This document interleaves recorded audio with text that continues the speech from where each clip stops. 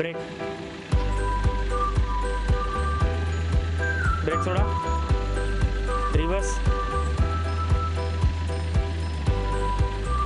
Break छोड़ा। Indicator मारा। Indicator दिया राइट साइड का रिवर्स बंद करा। ब्रेक सोडा लेफ़्ट इंडिकेटर।